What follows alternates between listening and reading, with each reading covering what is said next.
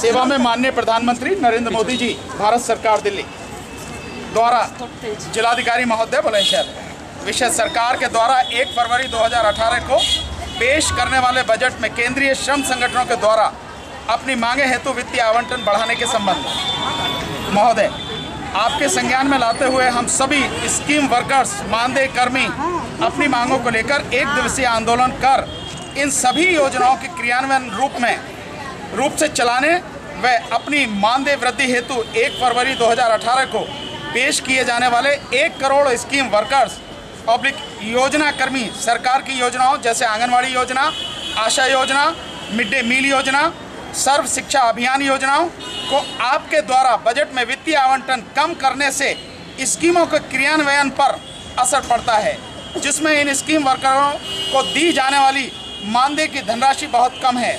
ICDS योजना जिसकी शुरुआत मुख्यतः 1975 में हुई थी, जिसमें ग्रामीण क्षेत्रों के ज़ीरो से लेके छः वर्ष के बच्चों की देखभाल व स्वास्थ्य सुरक्षा व स्कूल पूर्व शिक्षा व गाँव की गर्भवती महिलाओं की देखभाल सम्मिलित है, जिसमें आंगनवाड़ी कार्यकर्तियों को अपने विभाग के साथ साथ अन्य विभागों के कार्यों को, जैसे पोलियो, टीकाकरण, पीएलओ निर्वाचन कार्य, जनगणना, आर्थिक गणना आदि कार्यों को पूरी ईमानदारी व निष्ठा के साथ करती हैं और इन अन्य विभागों के कार्यों को करने से अपने विभाग के मूलभूत कार्य बाधित हो जाते हैं।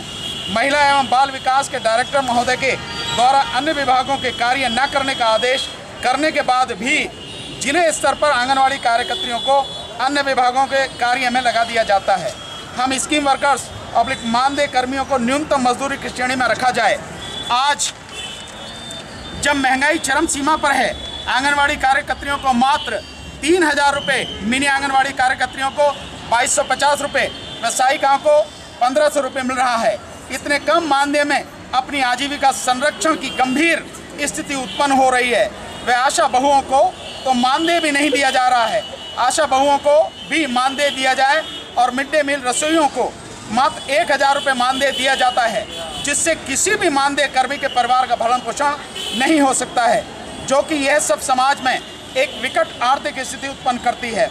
उत्तर प्रदेश में 2017 के चुनावों में भारतीय जनता पार्टी के द्वारा घोषणा पत्र में कहा गया था कि भाजपा की सरकार बनने के 120 दिन के अंदर आपको सम्मानजनक मानदेय दिया जाएगा तथा अन्य मांगों को भी पूरा किया जाएगा। महिला आंगनवाड़ी कर्मचारी संघ उत्तर प्रदेश के द्वारा बार बार धरना प्रदर्शन करने पर आश्वासन देकर धरने को हटवा दिया जाता है। यहाँ तक कि आंगनवाड़ी महिलाओं पर लाठीचार्ज तक करवा दिया गया। परंतु सरकार अपना वादा पूरा नहीं कर रही है। 22 दस 2017 से 22 बारह 2017 तक शांतिपूर्वक आंदोलन चलाया गया। परंतु उत्तर प्रदेश सरकार ने मानदेय बढ़ाने के बजाय आंगनवाड़ी कार्यकर्तियों को तीन माह का मानदेय रोक दिया है। ऐसी स्थिति में आंगनवाड़ी कार्यकर्तियों को अपने परिवार का जीवन यापन करने में आर्थिक स्थिति का सामना करना पड़ रहा है। अतः आपसे अनुरोध है कि आप, हम सब स्कीम वर्कर्स, मानदेय कर्मियों की आर्थिक परेशानियों को समझते हुए हमारी मांगों को पूरा करने की कृपा करें। हम सभी वर्कर्स सदैव आपके आभारी रहेंगे।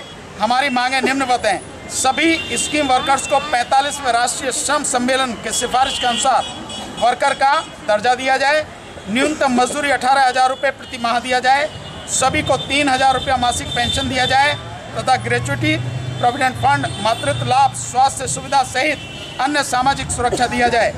नंबर दो वर्ष 18-19 के केंद्रीय बजट में केंद्रीय योजनाओं ICDS, MDMS, NHM, SS, AN, CLP, national saving आदि के लिए पर्याप्त धन का आवंटन किया जाए ताकि योजना कर्मियों को न्यूनतम वेतन दिया जाए।